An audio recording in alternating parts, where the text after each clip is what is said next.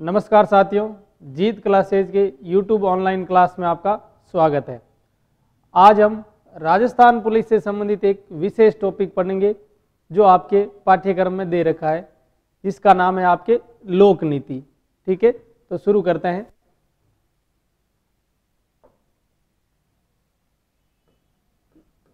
लोक नीति।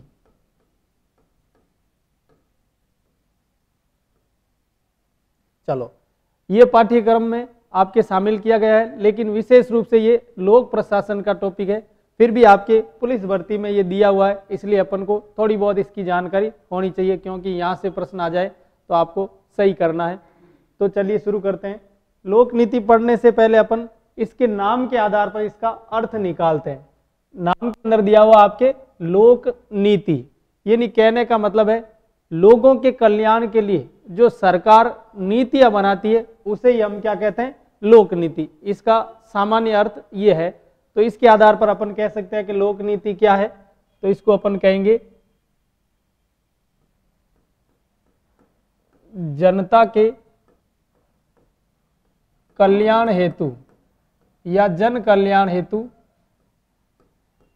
जनता के कल्याण हेतु सरकार द्वारा सरकार द्वारा बनाई गई, सरकार द्वारा बनाई गई नीति। क्या कहलाती है आपके? लोक नीति।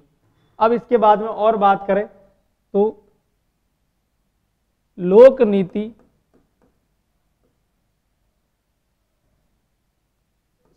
लोक नीति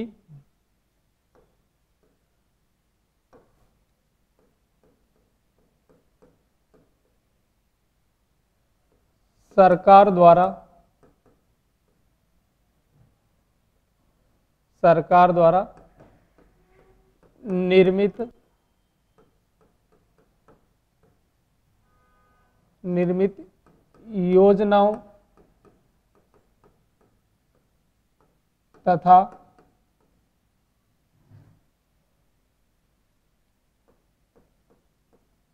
नीतियों या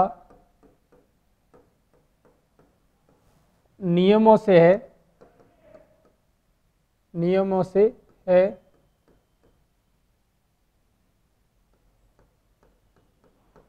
जिसका उद्देश्य जिसका उद्देश्य जन कल्याण है। जिसका उद्देश्य जन कल्याण है। कहने का मतलब है जनता के विकास के लिए या जनता के लिए सरकार जो नई नई योजनाएँ बनाती है नई नई नीतियाँ बनाती है या नियम बनाती है, उन सभी नियमों को अपन क्या कहते हैं? लोक नीति कहते हैं। तो ये तो इसका सामान्य अर्थ हो गया। और एक यहाँ पर प्रश्न आपको ध्यान रखना है, लोक नीति का उद्देश्य।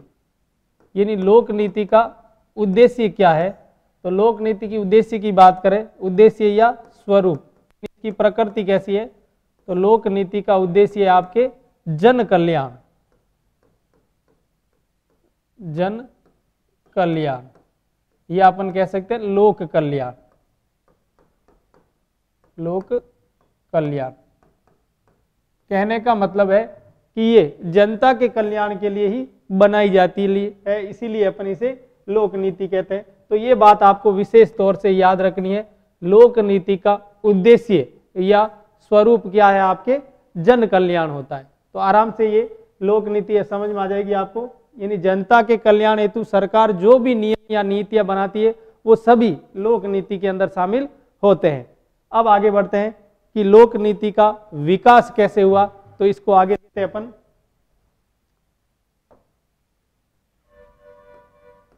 लोक नीति का विकास।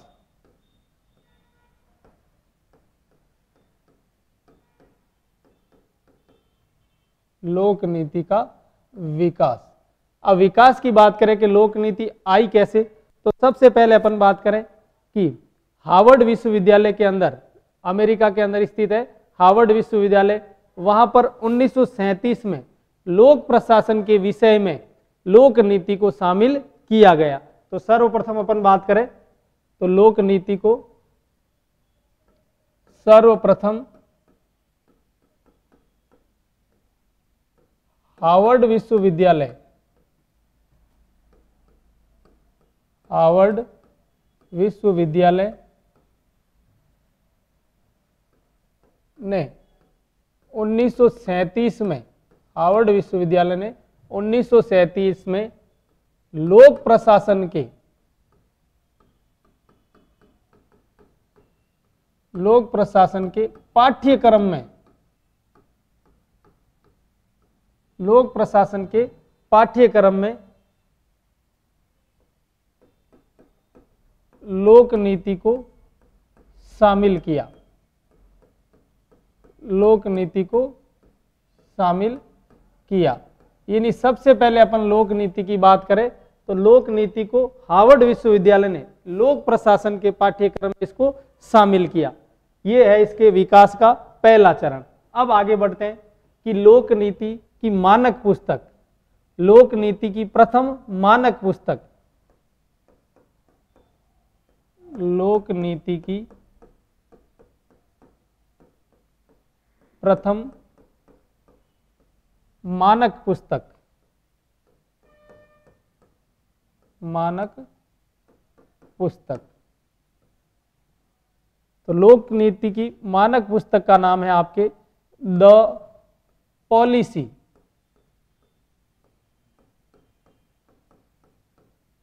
The policy science.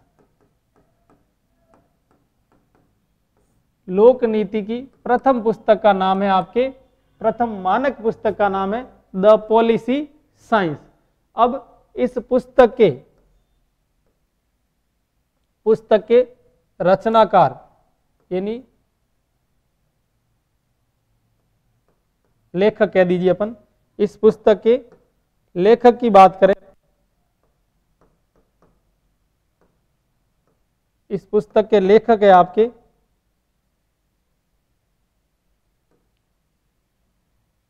Daniel Daniel Lerner Daniel Lerner व लासवेल डेनियल लर्नर व लासवेल इस पुस्तक के आपके लेखक है। तो ये बात आपको याद रखनी है कि लोक नीति की प्रथम मानक पुस्तक किसको माना जाता है या कौन सी है? तो द पॉलिसी साइंस। और इसके रचयिता है आप डेनियल लर्नर और लासवेल। तो ये है आपके लोक नीति के विकास का चरण। इसके बाद में आगे बढ़ते इसके विकास की बात करें। तो लोक प्रशासन के,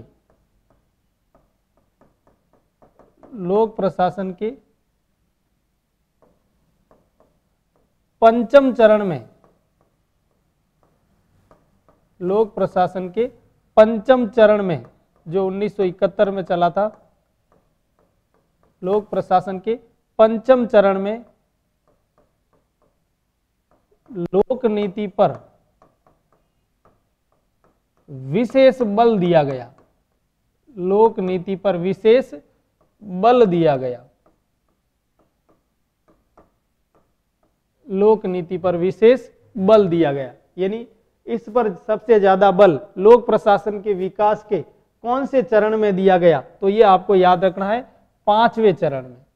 तो ये हो जाता आपके लोक नीति का विकास। यानी ये आगे से आगे विकास इसका कैसे हुआ? तो सबसे पहले आपको याद रखना है कि लोक नीति का सर्वप्रथम किस विश्वविद्यालय ने अपने पाठ्यक्रम में शामिल किया? तो वो आपको याद रखना है, हार्वर्ड विश्वविद्यालय।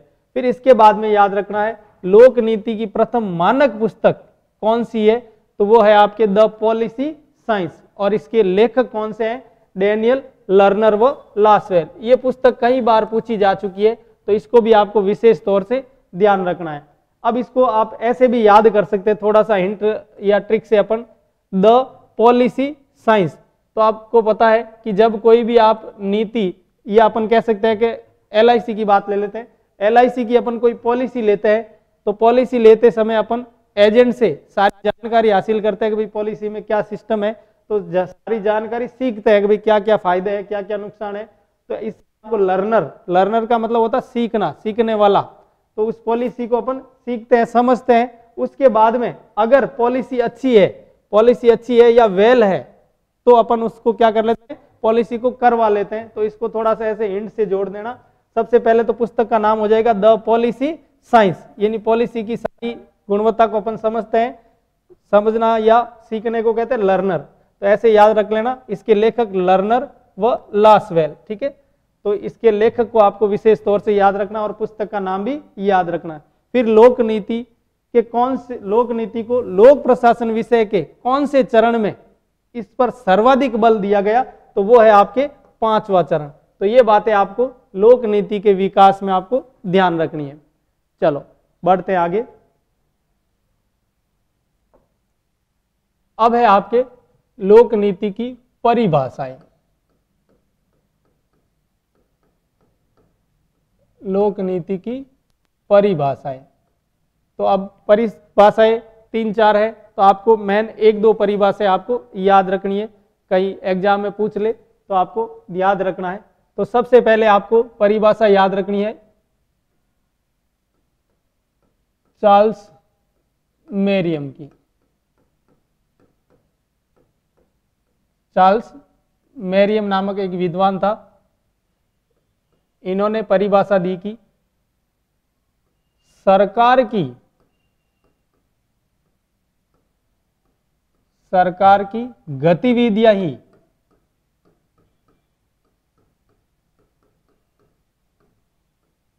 सरकार की गतिविधियाँ ही लोक नीति है। सरकार की गतिविधियाँ ही लोक नीति है। यानी सरकार जो भी कार्य करती है, वो सब क्या है आपके? लोक नीति है। ये परिभाषा आपके लोक नीति के बारे में किसने दी थी? चार्ल्स मेरियम ने। ठीक है? तो ये थोड़ी फ़ेमस परिभाषा है। कई बार एग्ज़ाम में पीछे पूछी जा चुकी है तो इसको भी आपको याद रखना है। कि सरकार की गतिविधियाँ ही लोक नीति है। अब आगे बात करें, एक विद्वान हुए थे आपके, Thomas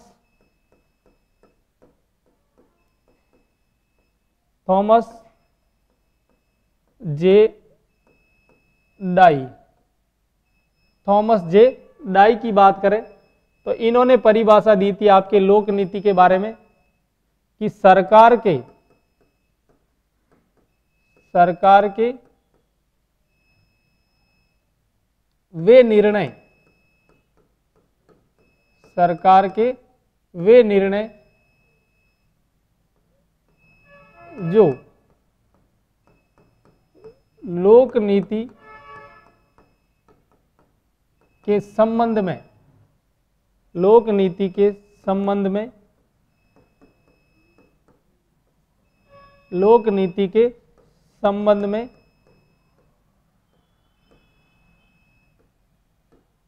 क्या किया जाए?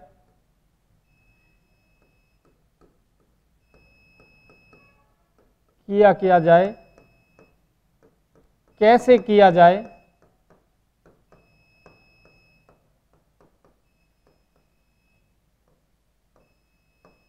कहाँ किया जाए?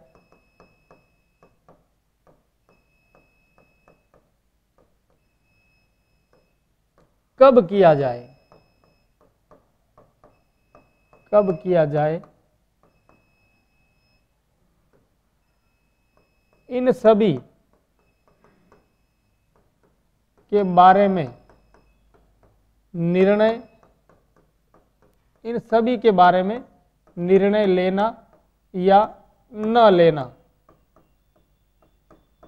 न लेना लोक नीति कहलाता है। तो ये परिभाषा आपके किसने दी थी? थॉमस जे डाई ने।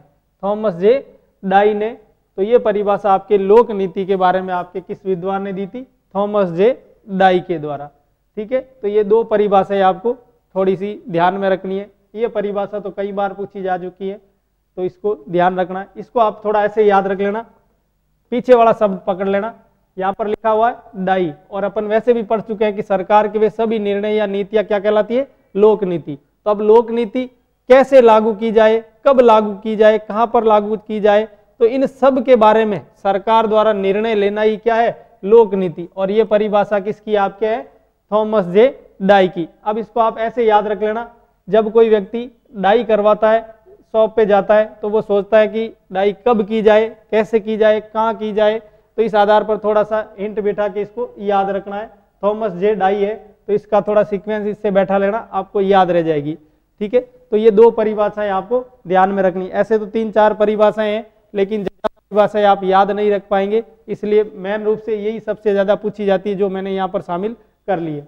तो ये हो गई आपके लोक नीति की परिभाषाएँ। अब बढ़ते हैं आगे।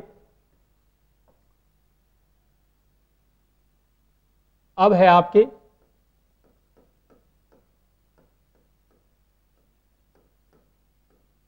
लोक नीति का निर्माण।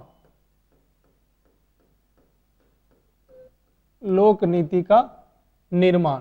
यानी लोक नीति का निर्माण कैसे किया जाए, किस स्तर पर किया जाता है तो इसमें आपको याद रखना है लोक नीति का निर्माण दो स्तर पर आपके किया जाता है। एक तो आपको याद रखना है, सरकारी स्तर पर। सरकारी स्तर पर और एक हो जाएगा आपके गैर सरकारी स्तर पर।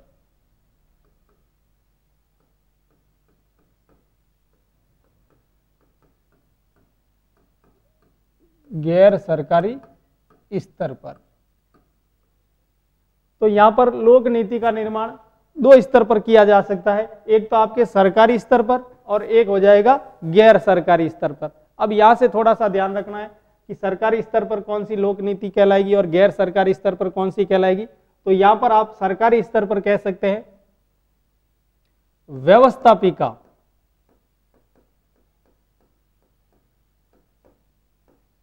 व्यवस्थापिका। या अपन केंद्र की बात करें तो केंद्र में व्यवस्थापिका या कानून बनाने वाली संस्था कौन सी है? संसद। तो व्यवस्थापिका या संसद द्वारा संसद द्वारा निर्मित जो नीतियाँ होती है, नियम होती है, वो क्या कहलाती है? कैसी आपके लोक नीति या कैसी स्तर की कहलाएगी? सरकारी स्तर की। ये होता है आपके केंद्र स्तर पर। यानी संसद या केंद्रीय व्यवस्थापिका या विधायिका कोई भी नीति या नियम बनाती है तो वो आपके कैसी कहलाएगी लोक नीति? सरकारी स्तर की लोक नीति कहलाएगी। अब अपन राज्य की बात करें तो राज्य की व्यवस्थापिका, राज्य की व्यवस्थापिका कह दीजिए, विधायिका कह दीजिए, एक ही बात है। राज्य की व्यवस्थापिका या विधायिका, जो आपके क्या कहलाती है? विधान मंडल। विधान मंडल। तो राज्य की व्यवस्थापिका या विधान मंडल द्वारा बनाई गई लोक नीतियाँ, वो भी आएगी आपके सरकारी स्तर पर। ये किस स्तर पर बनती है आपके? राज्य स्तर पर। ठीक है? फिर आपके आ जाएगा अस्थाई कार्यपालिका द्वारा। अस्थाई कार्यपालिका द्वारा। जैसे अपन कहेंगे राजनीतिक रूप से, राजनीतिक सरकार की बात करें, जैसे किस समय किस राजनीतिक दल की सरकार है और जिस दल की सरकार होती है, उनके जो कार्यपालिका के सदस्य होते हैं, जैसे केंद्रीय कार्यपालिका में आपके राष्ट्रपति शामिल होता है, प्रधानमंत्री, केंद्रीय मंत्री परिषद फिर आपके उपराष्ट्रपति महान्यायवादी ये सब शामिल होते हैं। तो इनके द्वारा जो नीतियाँ बनाई जाती है, वो भी आपके किस स्तर पर कहलाएगी? सरकारी स्तर की लोक नीति कहलाएगी। तो ये अस्थायी इसलिए अपन इसको कहते हैं क्योंकि पाँच साल के बाद में इनका कार्यकाल समाप्त हो जाता है, तब ये अपने पद से कार्य नहीं करेंगे तो इनके स्थान पर नई सरकार आ जाती है, नई कार्यपालिका का गठन हो जाता है, इसलिए इसे अपन अस्थायी कार्यपालिका कहते हैं। लेकिन जब ये सरकार में रहती है तो जब नीतियाँ बनाती है, तब इसको अपन कैसी लोक नीति कहेंगे? सरकारी स्तर की लोक नीति। फिर बढ़ते आगे इसके बाद में स्थायी कार्यपालिका द्वारा। स्थायी कार्यपालिका द्वारा बनाई गई लोक नीति, जिसमें आपके आएगा नौकरशाह या नौकरशाही नौकरशाही के माध्यम से। नौकरशाही का मतलब आपके जितने भी जो सचिव वगैरह है, या आपके हर विभाग के अंदर सचिव होते हैं सरकारी कर्मचारी होते हैं तो सरकारी कर्मचारियों द्वारा जो लोक नीति या जनता के कल्याण की जो नीतियाँ बनाई जाती है, वो आपके किस स्तर की लोक नीति कहलाएगी? सरकारी स्तर की लोक नीति। अब ये स्थायी कार्यपालिका होते हैं, क्योंकि ये सरकारी लोग होते हैं, नौकरी पैसा लोग होते हैं तो इनका कार्यकाल आपके सेवानिवृत्ति के बाद ही समाप्त होता है, इसलिए इनको स्थायी कार्यपालिका कहते हैं। जबकि ये सरकार राजनीतिक रूप से जो सरकार होती है, वो स्थायी नहीं होती है, पाँच साल के लिए होती है, फिर चेंज भी हो। जाती है, पुनः भी आ सकती स्थायी नहीं कह सकते। तो इन द्वारा, इनके द्वारा जो लोक नीतियाँ बनाई जाती है, वो आपके किस प्रकार की लोक नीतियाँ कहलाएगी सरकारी स्तर की। तो यहाँ से प्रश्न आपके आ सकता है और आया हुआ भी है पहले कि सरकारी स्तर पर लोक नीति का निर्माण कौन कौन कर सकता है तो ये आपके नामकरण हो जाएँगे। फिर आगे बढ़ते हैं। गैर सरकारी स्तर की बात करें। गैर सरकारी स्तर पर कौन कौन सी लोक नीतियाँ कहलाएगी? तो दबाव समूह द्वारा।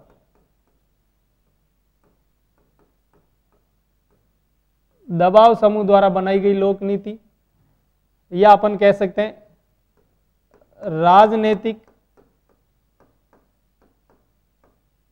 दलों द्वारा, राजनीतिक दलों द्वारा बनाई गई लोक नीति और अपन कह सकते हैं, नागरिकों द्वारा। नागरिकों को द्वारा बनाई गई लोक नीति आपके क्या कहलाएगी? गैर स्तर की लोक नीति। जैसे अपन कह सकते हैं कि दबाव समूह आपके सरकार के अंदर कुछ अलग लोग होते हैं जो सरकार में शामिल नहीं होते, फिर भी वो अपनी तरफ़ से कोई योजना बनाते हैं तो वो जाता आपके दबाव समूह। फिर राजनीतिक दल जो सरकार में नहीं है और वो अपनी कुछ नीतियाँ बनाते हैं जनता के कल्याण के लिए तो ऐसी नीतियाँ आपको उसको सरकारी नहीं कह सकते, ये गैर सरकारी स्तर की लोक नीति कहलाएगी। फिर नागरिक भी बना सकते हैं। जैसे किसी समाज विशेष के अंदर कोई अंधविश्वास चल रहा है या कोई कुरीति चल रही है तो समाज के लोग अपने समाज के अंदर उस कुरीति को मिटाने के लिए कुछ निश्चित नियम बनाते हैं कि भाई, अगर इसका उल्लंघन करेंगे तो आपको जुर्माना लगाया जाएगा या दंड दिया जाएगा या समाज से बहिष्कृत कर दिया जाएगा। तो ऐसी लोक नीति आपके नागरिकों द्वारा बनाई जाती है, लेकिन ये किस स्तर की कहलाएगी? गैर सरकारी स्तर की लोक नीति का दर्जा हम इसे देंगे। तो ये लोक नीति का निर्माण दो स्तर पर किया जा सकता है, सरकारी स्तर पर और गैर सरकारी स्तर पर। और ज़्यादातर प्रश्न आपके यहाँ से मिलता है कि लोक नीति का निर्माण सरकारी स्तर पर कहाँ कहाँ किया जा सकता है। अब बढ़ते हैं इसके बाद में, आगे के लोक नीति के चरण। लोक नीति के चरण।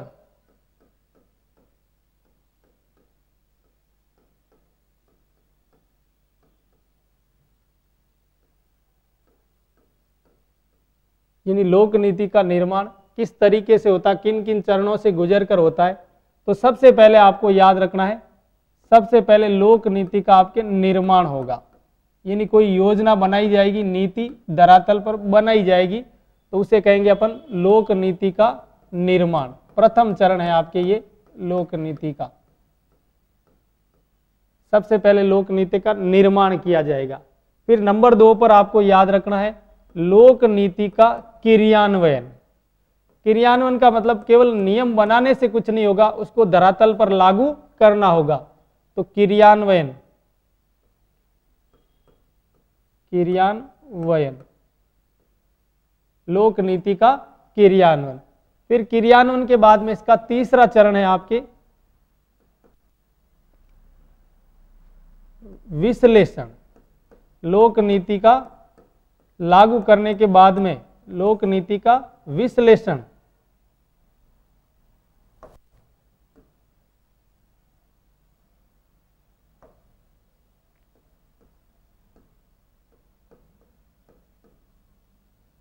विश्लेषण। या अपन कह सकते हैं मूल्यांकन।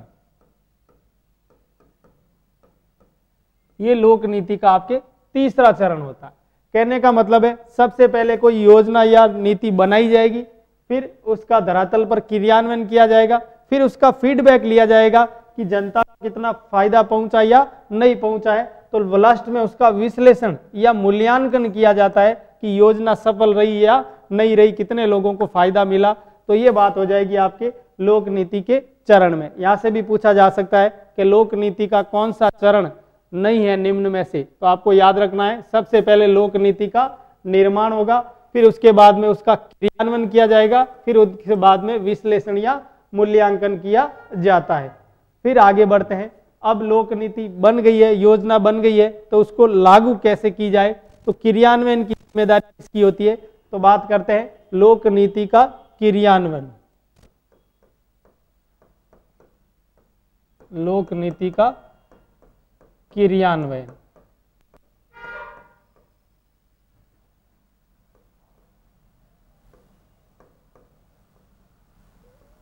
लोक नीति क्रियान्वयन। तो क्रियान्वयन होगा आपके कार्यपालिका द्वारा। कार्य पालिका द्वारा। और कार्यपालिका में विशेषकर आपको याद रखना है नौकरशाही द्वारा। और नौकरशाही के लिए जिम्मेदार रहता आपके कार्मिक विभाग। कार्मिक विभाग। ठीक है? तो कोई भी योजना सरकार बना देती है, लेकिन उसको लागू करने की ज़िम्मेदारी होती है आपके कार्यपालिका की। कार्यपालिका स्वयं या अपने अधीनस्थों के माध्यम से उस योजना को लागू करती है और लागू के अंदर सबसे ज़्यादा ज़िम्मेदारी होती है आपके नौकरशाह की यानी सरकारी कर्मचारियों की। तो इसमें भी आपको याद रखना है कि नौकरशाही द्वारा इनका क्रियान्वयन किया जाता है। और विभाग का नाम पूछ ले तो किस विभाग द्वारा इसका क्रियान्वयन किया जाता है? कार्मिक विभाग द्वारा। तो ये हो गई आपके लोक नीति के चरण और लोक नीति का क्रियान्वयन। तो यहाँ से प्रश्न ध्यान रखना है कि क्रियान्वयन किसके द्वारा किया जाता है? कार्यपालिका द्वारा, ठीक है? तो ये हो गया आपके लोक नीति के चरण। इसके बाद में आगे बढ़ते हैं। लोक नीति की विशेषताएँ।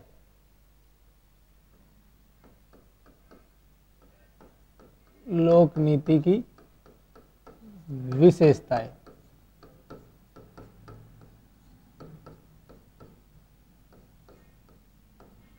तो लोक नीति की विशेषताओं की बात करें तो इसके अंदर आपको थोड़ी सी बातें ध्यान रखनी है। पहली विशेषता है इसके अंदर लोक नीति सरकार के लोक नीति सरकार के उद्देश्यों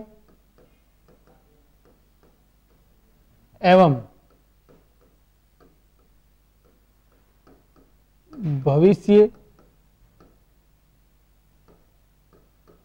की योजनाओं का योजनाओं का प्रतिबिंब होती है, या योजनाओं को प्रतिबिंबित करती है। प्रतिबिंबित करती है। यानी सरकार क्या योजना बना रही है, उसका उद्देश्य क्या है, और भविष्य में क्या योजना है, उसका प्रतिबिंब आपको लोक नीति के अंदर मिलेगा। तो ये सरकार के उद्देश्य एवं भविष्य की योजनाओं को प्रतिबिंबित करती है। फिर आपको याद रखना है, लोक नीति सरकार के लिए, लोक नीति सरकार के लिए मार्गदर्शक मार्गदर्शक का कार्य करती है।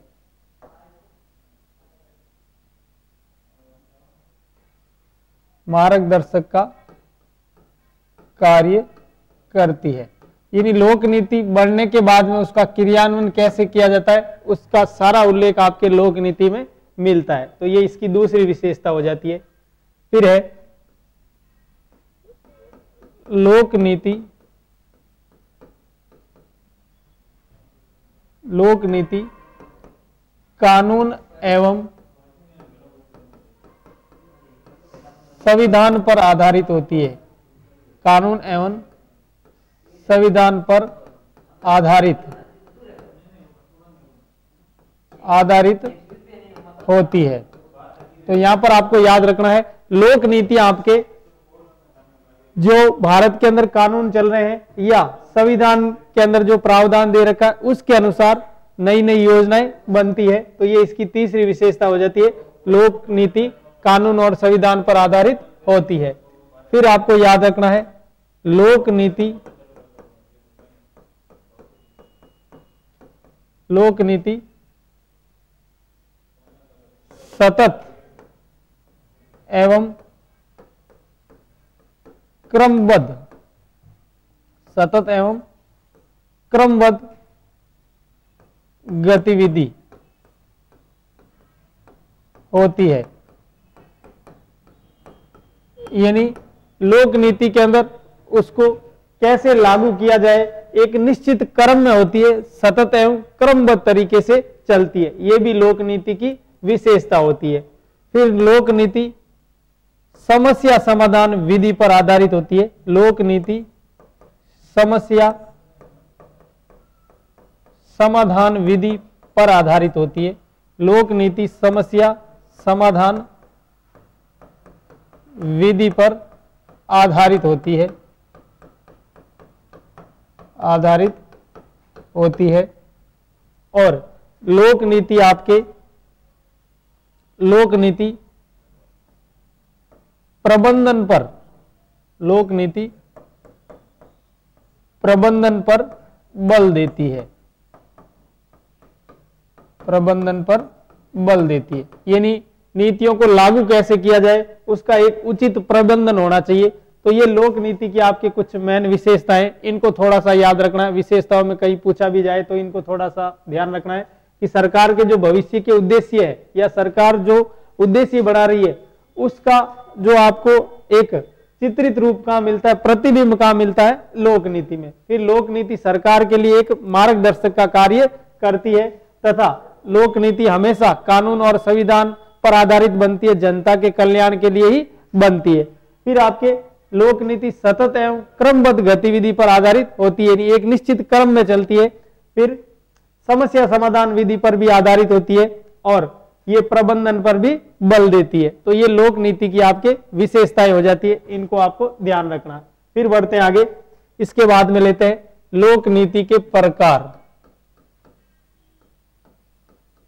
लोक नीति के प्रकार। तो लोक नीति के प्रकार में आपको इनके नाम याद रखने हैं। तो पहले है आपके तात्विक या सार गर्भित तात्विक या सार गर्भित लोक नीति तात्विक या सार का सार गर्भित लोक नीति तो इसमें आपके जो सार्वभौमिक योजनाएँ होती है, जो सबके विकास के लिए होती है, वो इस आधार पर बनाई जाती है या इसका प्रकार आपके क्या कहलाता है? तात्विक या सार गर्भित लोक नीति, यानी सार्वभौमिक, यानी सबके लिए सार्वभौमिक विकास हेतु, सार्वभौमिक विकास हेतु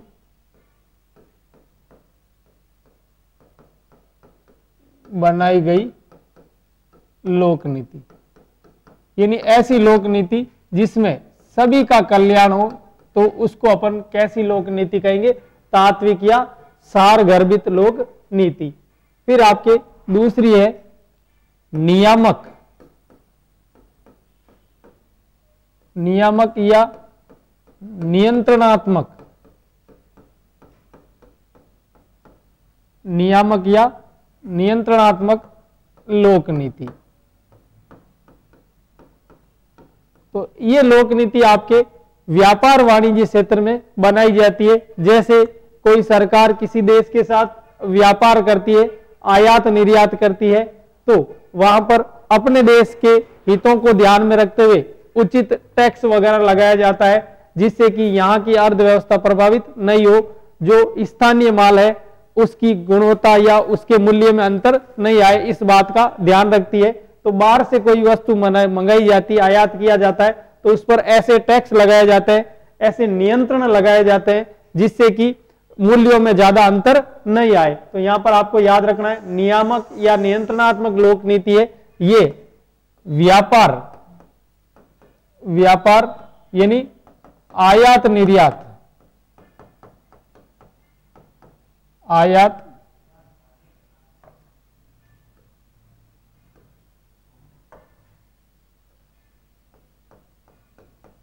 आयात निर्यात तथा व्यापार सुरक्षा हेतु, व्यापार सुरक्षा हेतु बनाई जाती है। व्यापार सुरक्षा हेतु, यानी व्यापारिक कार्यों के लिए जो लोक नीति अपनाई जाती है उसे अपन नियामक या नियंत्रणात्मक लोक नीति का प्रकार कहते हैं। यानी उनके अंदर कुछ नियंत्रण लगाए हुए होते हैं। फिर है आपके तीसरे, वितरणात्मक। वितरणात्मक लोक नीति। तीसरा प्रकार है आपके वितरणात्मक लोक नीति। तो इसके अंदर आपके जो सार्वजनिक रूप से पिछड़े वर्गों के लिए जो आपके गेहूँ वगैरह या चावल वगैरह दिए जाते हैं या खाद्य सुरक्षा के लिए जो योजनाएँ चलाई जाती है, वो सामाजिक वर्गों को, वर्ग विशेष को वितरण की जाती है, सुख सुविधाएँ दी जाती है या सुविधाएँ दी जाती है तो इस प्रकार की लोक नीति आपके किस प्रकार में आएगी? वितरणात्मक लोक नीति। जैसे अपन इसके अंदर कह सकते हैं, सार्वजनिक वितरण। सार्वजनिक वितरण प्रणाली वाली योजनाएँ। सार्वजनिक वितरण वाली जो योजनाएँ हैं आपके, वो किस प्रकार की लोक नीति के तहत आती है? तो वितरणात्मक लोक नीति। इसके बाद में आगे बात करें अपन तो चौथी लोक नीति का प्रकार है आपके पुनर्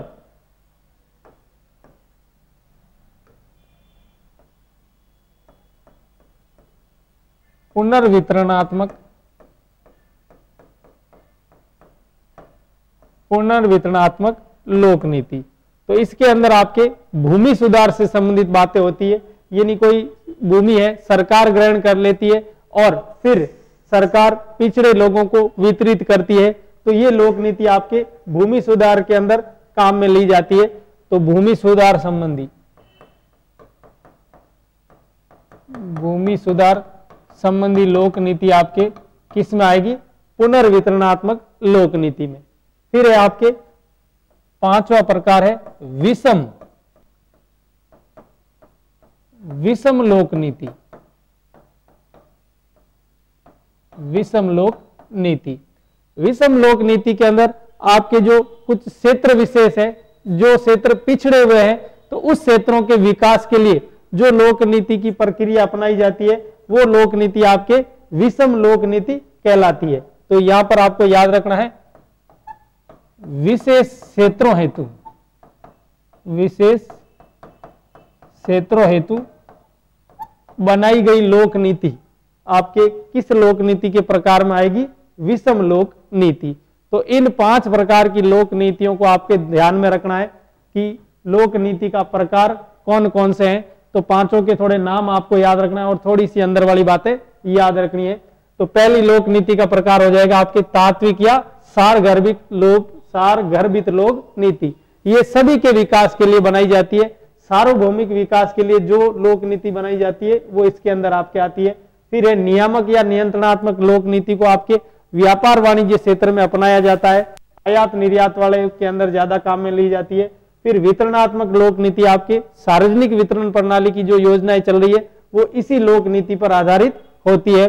फिर इसके बाद में है पुनर्वितरणात्मक, वितरणात्मक तो ये आपके भूमि सुधार संबंधी लोक नीति के अंदर आती है। और अंतिम है आपके विषम लोक नीति। तो विषम लोक नीति जो विशेष पिछड़े क्षेत्र है, उनके विकास के लिए जो योजनाएँ बनाई जाती है, नीतियाँ बनाई जाती है, उन नीतियों को अपन विषम लोक नीति कहते हैं।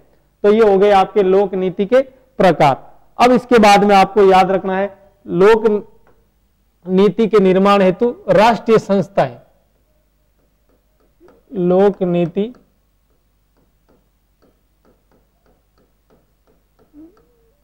निर्माण हेतु राष्ट्रीय संस्थाएँ। लोक नीति निर्माण हेतु राष्ट्रीय संस्थाएँ यानी लोक नीति का राष्ट्रीय स्तर पर निर्माण कौन करता है? तो इनके बारे में आपको थोड़ा सा ध्यान रखना है। तो यहाँ पर आपके आएगा नंबर एक पर नीति आयोग। कौन सी संस्था आएगी आपके? नीति आयोग। तो नीति आयोग आपके राष्ट्रीय स्तर पर भारत के विकास के लिए नवीन योजनाएँ बनाए बनाते हैं। पहले आपके इसके स्थान पर योजना आयोग था, जो पंचवर्षीय योजना बनाता था, अब उसको समाप्त करके उसके स्थान पर नीति आयोग का गठन कर दिया है। तो ये नीति आयोग की आपके सरकार के अंदर नीतियाँ बनाने का काम करती है। इसलिए ये लोक नीति निर्माण की आपके राष्ट्रीय संस्था है। फिर आपको दूसरे नंबर पर पढ़ना है आपको, राष्ट्रीय विकास परिषद। राष्ट्रीय विकास परिषद।